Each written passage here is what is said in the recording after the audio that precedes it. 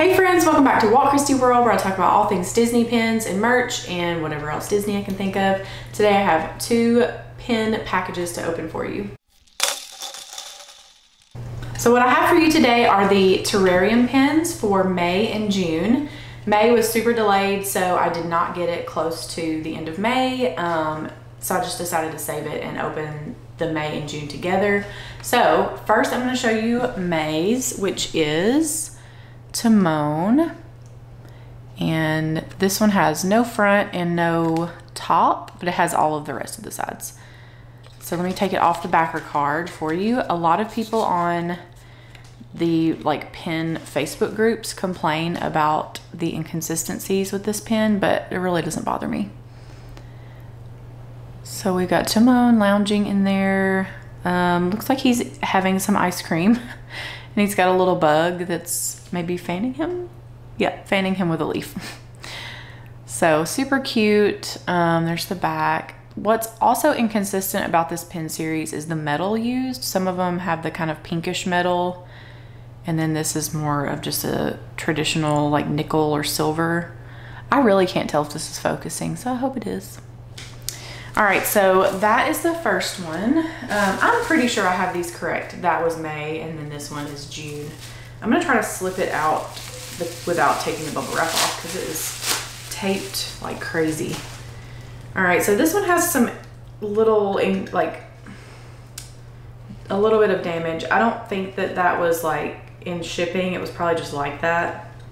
I feel like I've seen people say that before about these. Um, which I mean, Disney quality control is just not great anyway. But you can see there's a little bit of like the plastic is kind of rubbed funny. No big deal for me. I'm not that picky. Um, but this is flounder. So on this one, the only empty spot is the top. And to me, that's because this obviously flounder's a fish, so he's in a fishbowl, not a terrarium. Um, which maybe that is weird because this is a terrarium series, but I don't know. It just, it doesn't matter. It's a cute pin. but I'm looking at this more as like an aquarium instead of a terrarium. But this one is also kind of the silver metal. So we've got Flounder and Sebastian in there together.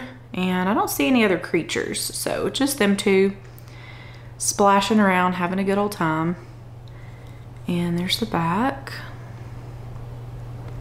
So now I have May and June to add to my board behind me, which I don't know if you can see right there is where I'm displaying the terrarium. So um, eventually I'll have 12, which is, I don't know if I have room for 12. I think I do.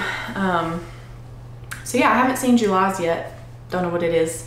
Um, I'm not sure. Sometimes Disneyland's come out before Disney World, but it's the same thing. So then you kind of have a preview. And I don't know if they're supposed to be that way or if it's just like shipping delays that have caused that to happen. It's probably shipping delays. Um, like they're supposed to come out on a certain day and then for some reason the Florida ones get delayed so they come out later. But hopefully they'll come out soon and I can see what I'm getting for July. So that's all I have. I know that was a short video. Um, let me know if you have any questions about the terrarium pins. I mean, I think they're really cool. I know they've been kind of like, some people love them, some people hate them.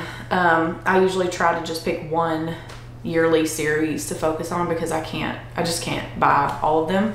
And this was my favorite one because I love plants and like, this is kind of plant related.